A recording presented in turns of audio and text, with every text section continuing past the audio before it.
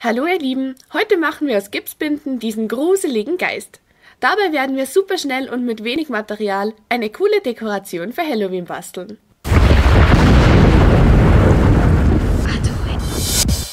Für den Geist benötigt ihr eine leere Flasche, einen Luftballon, zwei Holzstäbe, Gipsbinden, eine Schere, ein Cuttermesser und Klebeband und eine Schüssel mit kaltem Wasser. Schritt 1. Die PET-Flasche vorbereiten. Als erstes den oberen Teil der leeren Plastikflasche mit dem Cuttermesser abschneiden. Danach einen kleinen Schlitt schneiden, sodass der Holzstab durchpasst.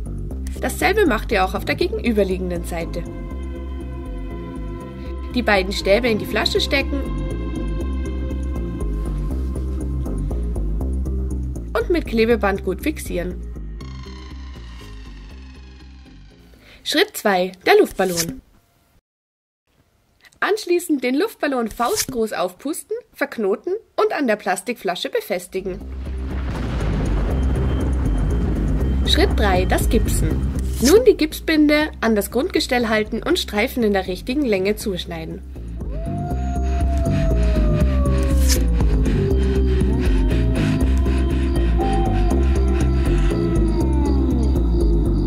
Dann die Streifen einzeln durch das Wasser ziehen und auf dem Grundgestell auflegen.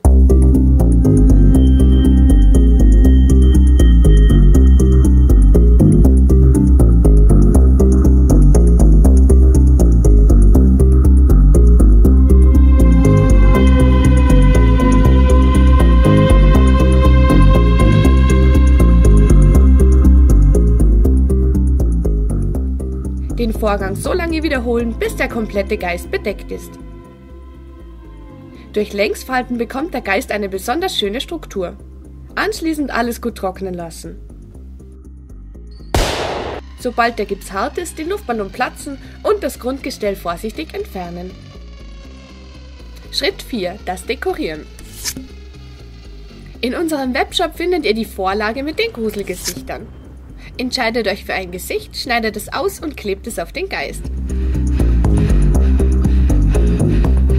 Tipp: Für einen richtig coolen Effekt auch bei Dunkelheit befestigt ihr einfach eine LED-Lichterkette mit Klebeband im Geist.